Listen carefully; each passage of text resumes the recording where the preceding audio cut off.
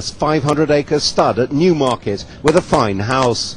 This was Carroll's country seat, and it certainly befitted his image as a jet-setting entrepreneur.